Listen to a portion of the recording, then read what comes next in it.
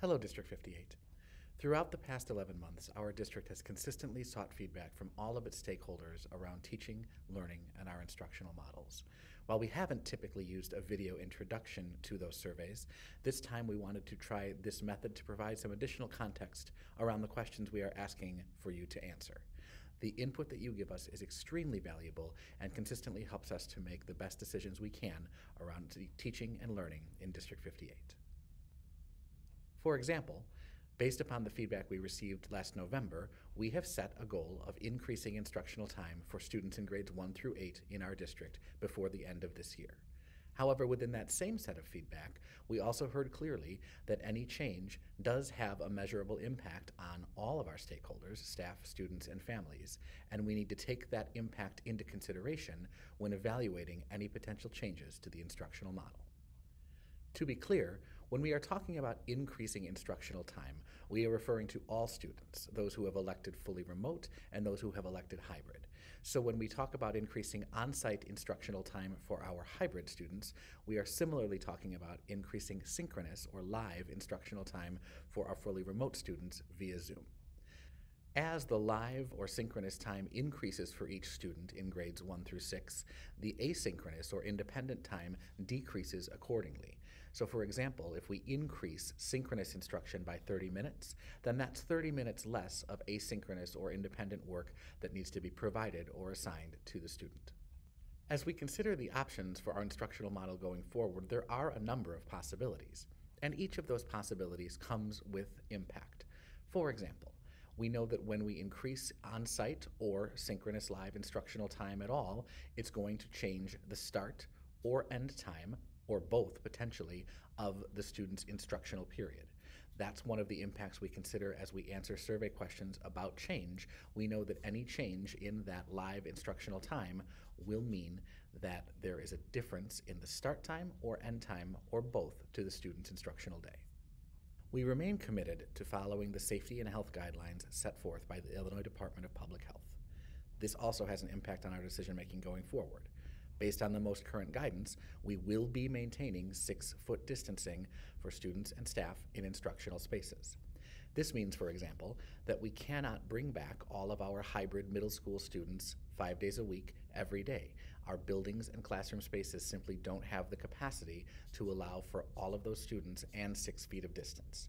So increasing instructional time for our middle school students likely means lengthening the day, which would then necessitate a midday lunch break. This would not be a midday lunch break of hundreds of students in the cafeteria because, again, it couldn't be accommodated with six foot distancing. It would be smaller groups of students eating in smaller spaces, but always six feet apart. As another example, if we were going to increase live instructional time for our students in grades 1 through 6 by a smaller increment of, say, 30 minutes, we may well be able to maintain the current AM and PM sections. However, if we were to capture more live instructional time, we would run out of hours in the day to have those two separate sections running and would need to instead welcome all of our hybrid students back on site at the same time. To accomplish this, we would need to set up classrooms and instructional spaces that could accommodate those students while incorporating six-foot distancing. For example, a teacher today may have an AM section of 10 students and a PM section of 11 students. Typical classrooms in District 58 can't accommodate 21 students at six feet of distancing, so we would need to make some adjustments. It may be possible that that teacher could take a group of 21 and teach in a non-traditional space, like the library, or a multi-purpose room, or in some cases, even part of a gymnasium. In other instances, we may look at those, some of the students in that teacher's classroom moving to another teacher at the same grade level within the same building.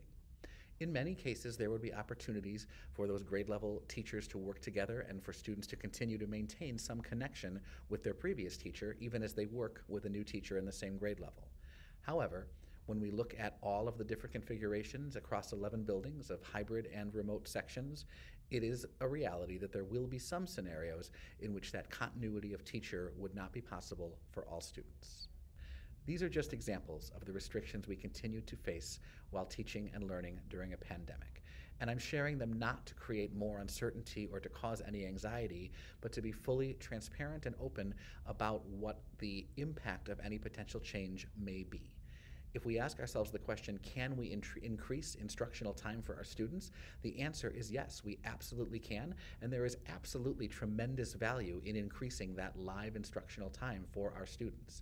However, there are impacts to any decision we make, and we want to be clear about what those impacts may be so that we can weigh the value of gained time against the potential impact as we move forward with our decision making. So, we are asking you to answer a few questions that will help us to understand our community's perspective and priorities for instruction for the remainder of this year. While the survey is designed to be clear and straightforward, we know that it may generate more questions. I encourage you to reach out directly if you have those questions. You can reach me via email or by phone. I will be checking both over the weekend as we know that we are asking the survey to be completed by Tuesday, February 16th, so that we might have time to process and review all of the information prior to making a recommendation to the Board of Education on February 22nd. The one type of question I unfortunately won't be able to answer at this time would be the granular details, such as what time would my fourth grader be dismissed if we were to make a change? Those are the details we are working on and want to share very soon, but the feedback we'll receive from you help us prioritize which model we might ultimately recommend, and then we'd be able to share those details again as part of a future recommendation. We ask that you fill out each survey that is appropriate to your family one time. For example, if you have a second grader, a fifth grader, and a seventh grader in your household, you would fill out the survey for students in grades one through six one time, and you would fill out the survey for students in middle school one time. Your partnership, your feedback, your input are not only appreciated, they are a critical part of why we are a successful school district.